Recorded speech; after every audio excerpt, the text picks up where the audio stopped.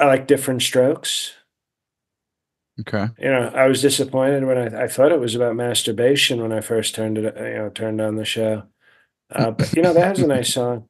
And together we'll be fine because it takes different strokes. It takes different, you know, it's Different nice and it's yep. it's, you know. And I watched that show and I go, look at that cute Arnold. Remember Arnold? What you talking about. Willis? Mm-hmm. He was a cute. He was a cute.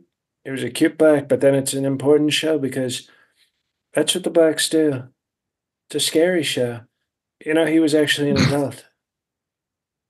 He was an adult, and that's when I learned to be careful around the blacks because they will disguise themselves as kids, and it's like you're actually an adult. That's why sometimes these people beat, you know, the, our great law enforcement will beat up black children because they're like, we're not falling for that again. Yeah, this is a fourth grade class. He might be 25. I remember when Arnold tricked that nice white man into to adopting him, and he was a grown man. Different strokes. Get out of here. You almost gave Mr. Drummond a stroke when he found out that Arnold was actually like 26 years old. What you talking about, Willis? I'm talking about seeing your birth certificate, Arnold.